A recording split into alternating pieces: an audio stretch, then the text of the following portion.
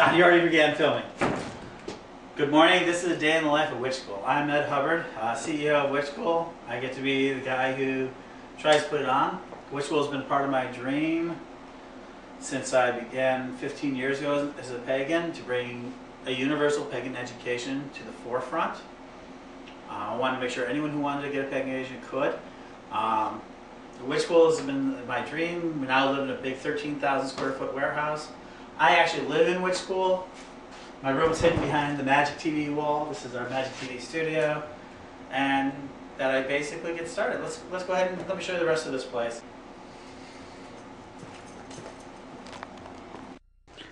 This is part of our wall of articles that we've collected. I think between two and 300 articles over the last 15 years we've generated. Yes. Only a very few of them are actually on the wall. Hi, this is Kathy. She recently joined us. Uh, she is in charge of our mini spells. Yes, there you go. Um, lovely mini spells. She does our, a lot of our morning crew of mini spells. And also right now she's working on sending out samples to everybody. And Kathy is a lifelong Hoopeston resident. What brought you here to Witch School? Um, the job. The job. it is kind of an unusual job. Spell. It's, it's different. Not many people can claim to be smell makers.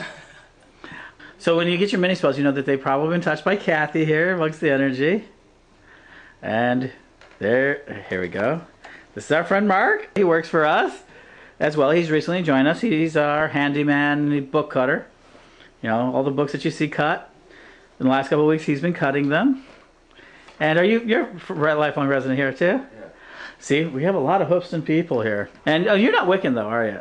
No. No, see, we are non-discriminatory. Tara's our Girl Friday here, who helps out Virginia and Marianne.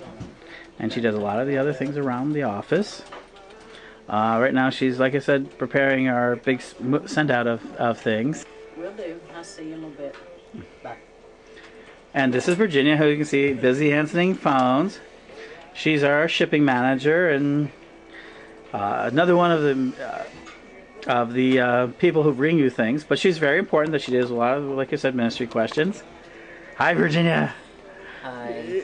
So yeah, on a daily basis, you deal with students, their shipping issues, their supply issues.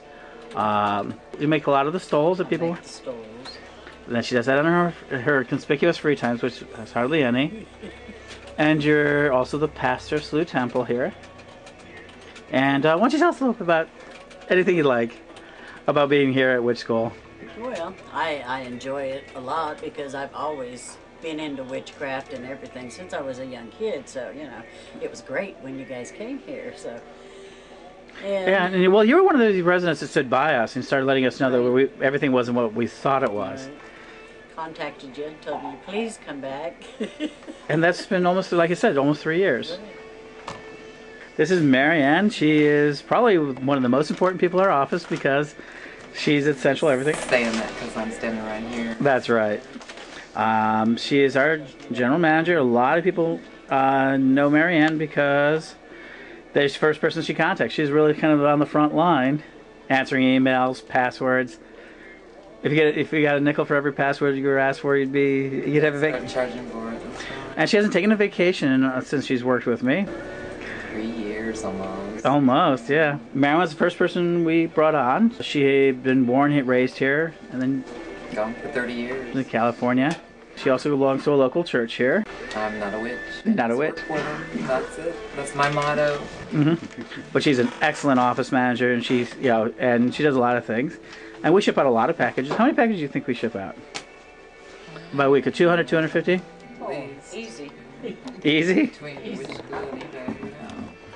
Okay. Yep, there we go. And so this is kind of our center. And as you can see, we're pretty cramped in here. We could use more space. space. We need space. This is Don. Or how would we phrase it? The most proper, right reverend. How do you put your whole title, Don? Uh, the most reverend. Donald Lewis Highcorrell. Okay. Everybody knows him as Don. Yeah. Uh, very direct, but actually he is. No, I, I only sign with the titles for very formal uh, documents or announcements. Overall, Don is the backbone of a lot of what we do at Witch School. He is the central core of the teachings. Uh, he took his instead of taking the usual route of authors and writers of going to Llewellyn or one of the book companies to get published, he and I decided to take his materials directly to the public so that we can expand on our public pagan tradition. Well, we, we have always felt that spiritual information is to be shared, that it really is for the enrichment of, um, of everyone, and that if you have spiritual knowledge and you hide it, you're doing something wrong. Uh, you should try to use it to help people. And so from the start, we've had a commitment to making the information as available as possible. That really makes us very different than, um, than many Wiccan traditions and many Wiccan schools who are very concerned with keeping it select and exclusive, which is not not a um, not a form we believe in. So yeah, we've been dedicated right since probably you've been dedicated all your life, and we've been working together since 1990. Yes. And at this point, where would you say Witch School is where in your total plan of what you want for this for your life? I guess it's a strange question. What I mean is that Witch School we've gotten out to be 150,000 students, hmm thousands of people all over the world work with you, Yeah, it's true. um, we've we've attracted wonderful people. And that sort of thing. So where do you think, uh, you know, compared to where you'd like to be, where you're at? Well, we're like in a small, we're in a warehouse Mhm. that we're I, so I, I would very much like us to um, certainly become more stable in, in all ways, particularly in terms of um, our building and our ability to host events and to host people. I would like to see us have imp- improved facilities for that. Mhm. Uh, I would like to see our libraries grow.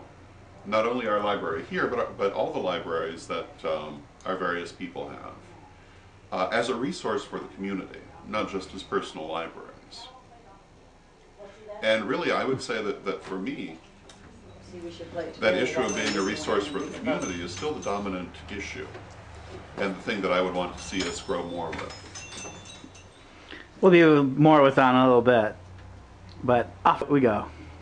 Yeah, she brought a whole pile of new wands. What's this favorite? It's one of our favorite things to do around here is when Miranda brings in her wands. Forty. Blue lace. That's Mhm. nice crystal. Yeah, we're almost out of That's pretty. What's that? blues. Blue lace? Okay.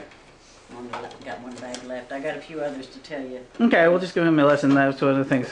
More of these. Lovely one. This is Reanna, our wand maker. She comes in once a week about. Rarely that quick. And she's going to show us a little bit of the wands she's brought with for us today. She actually makes exceptionally good wands. Oh, thank you. Uh, people love them. People buy them. They don't pay enough for them, but but you've gotten about 40 wands so- sold. This is a talking stick she's made, pearl and magnetic hematite. Yes. And citrine, And citrine. Mm-hmm. and of course quartz crystal. Double terminated. And uh, basically, she started uh, doing wands about what did you say? About a year ago? Was it a little more than about a year? Two years ago. Two years ago. Right. Yeah, because I was making them, doing crafty things all a while. Mm-hmm. So, And then you started bringing them here, and asked us to sell them. And now we're starting to develop into a little product line. This one's really cool. What's on that one? uh, this is rose quartz with tiger eye eyes Mm-hmm. and just some fabric. Is that fabric? And moonstone. And moonstone. We were wondering if this is like some kind of yarn or something. Yeah, it's a, it's a yarn that I just twirled around. Oh, Very good. It's got an unusual feel to it. She does each one of these by hand. When did you get involved with the uh, Wicca? I started uh, practicing Wicca uh, when I ran across Crystal at Awakens, and uh, that's when my journey began. And now, you, now you're becoming a wand supplier now I to, make wands and staves. and staffs and talking sticks. Um, what would you say has changed your life most? I mean, being involved with Witch School at all. Has it changed your life at all, or is it? Oh, drastically. Oh yeah, drastically. Yeah, yeah. Uh, what would you say is probably the biggest changes? I am calmer. I'm more relaxed. I'm more in tune with my body, with uh, the fact that I'm a part of the universe. Um, it just felt like I was came home.